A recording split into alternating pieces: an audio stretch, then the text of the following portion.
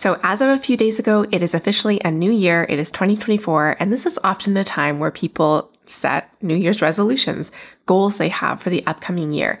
And this is something I've done a lot in my past, but I've never really been able to quite follow through with them. And I think that's a common experience for a lot of people. So, in this video, I want to talk about the goals that I'm setting now for the coming year and beyond, and why I feel like this time is really, really different, and why I feel like I'm going to be able to adhere to these changes on a long term basis. As you probably know by now, we are embarking on a ketogenic diet and metabolic therapies project, so to speak, where we are using the ketogenic diet as well as other metabolic therapies as a means of managing and potentially treating my schizoaffective disorder. Now, these are changes that I was fairly sure I wanted to commit to regardless of the new year. So it does feel a little bit coincidental that this is beginning kind of in line with the new year. So excuse my new year, new me title. And then I'm going to share more with you about why this time feels so different and why I feel confident that I'm going to be able to stick to these challenges.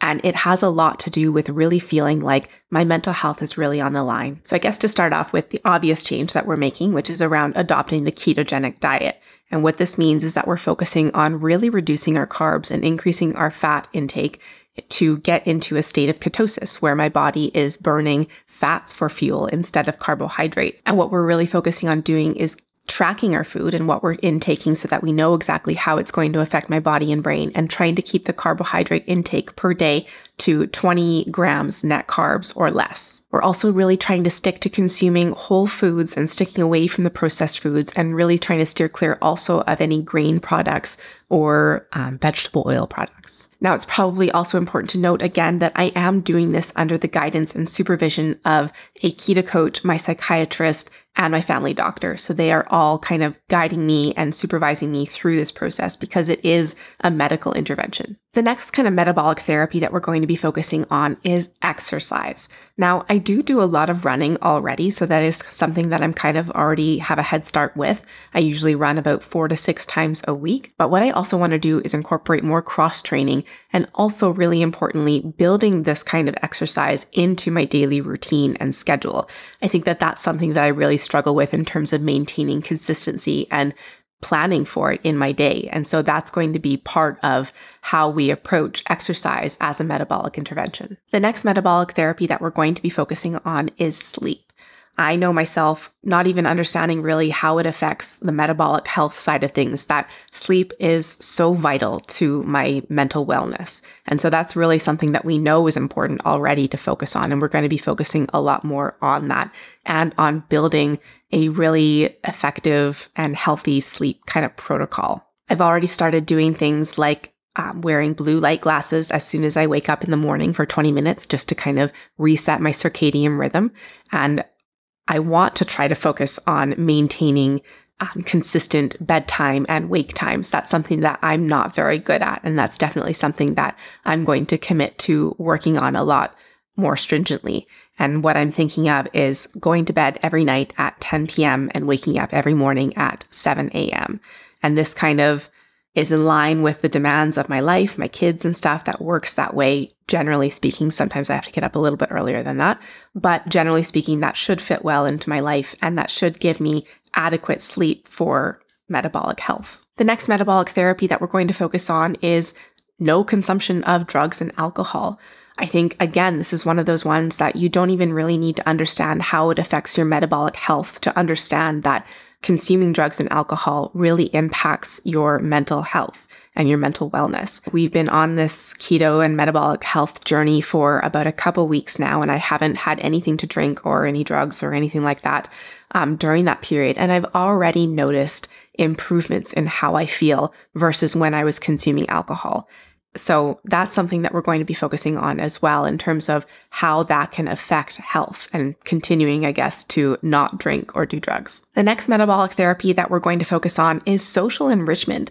Now, this is one that kind of surprised me in terms of being able to affect your mitochondria, you know, your cells at a very physiological level. Social enrichment and things like play, even, can really be beneficial to metabolic health.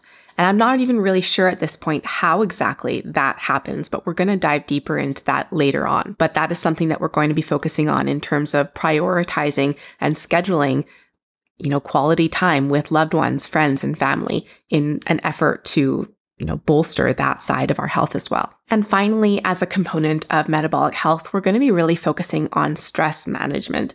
Now, when I think of this, it seems kind of hard to just mindfully manage your stress. And perhaps that's not necessarily always possible to do so, but we're going to be engaging in activities that will hopefully help us to manage our stress more healthily and to perhaps be more aware of what we can do to mitigate it a little bit.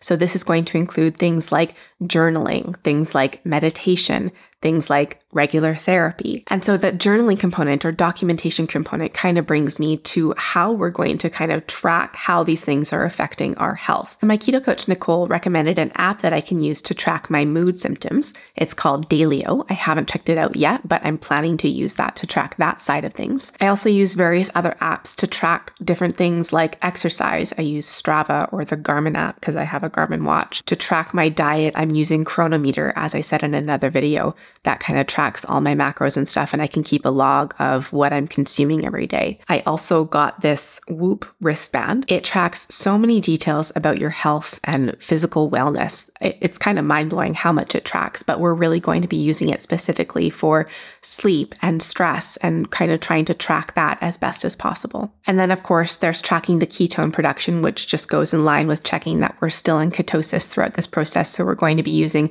various means of ketone monitoring monitoring, whether it's a breathalyzer or a blood monitor, or even we're going to be using a continuous blood monitor. It's like a little patch that sticks to your arm for two weeks and gives you constant feedback of how many ketones you're producing. So, I mentioned a lot of different metabolic therapies and interventions that we're going to be focusing on. And I just want to let you know that we are going to be doing specific videos for each one of those that dives deeper into what exactly we're doing, how it's impacting us, and also how it impacts your metabolic health. But I do want to just take a minute to talk about why I feel this time is different and why I titled this video New Year, New Me, and why it's actually different this time. It really feels like doing these interventions and committing to this is really putting my mental health on the line. I think I've always felt a little bit at the whim of my mental illness and the symptoms that I experience day to day. But, you know, having this process or these interventions at my disposal and things that I can really do feels really empowering. And it feels like it's an opportunity to take back control over my mental illness and over my experience of symptoms using these interventions. I think the new year is always a time where people set intentions to make positive changes in their lives, but it's not always the easiest to stick to. And like I said earlier, I myself have abandoned many a New Year's resolution before. But the chance that I could take control of my mental illness in a way that I never thought could be possible before feels like enough of an impetus to really stick to these changes on a long term basis, especially if they end up being really successful for me. I also understand that due to the nature of this YouTube channel being what I do for work, I am in a like immense position of privilege in terms of being able to really dedicate my life to making these changes and being able to share them all with you here. I really, really hope that I can do this position of privilege justice in terms of fully exploring these metabolic therapies and showing you how you could perhaps too take control of your mental illness or mental health as well. So it's kind of nice and fun that this new project and, you know, life overhaul, kind of, so to speak, has lined up with the new year. If you yourself are making New Year's resolutions to better your mental health or your well being, I wish you all the best. And I'm right there along with you on the journey towards self improvement. Thank you so much for following along on this journey with keto and metabolic therapies. There is definitely a lot more that we're going to be sharing with you very soon. Wishing you and your loved ones good health and all the best in the new year. Thanks. We'll see you in the next one. Bye. Happy 2024.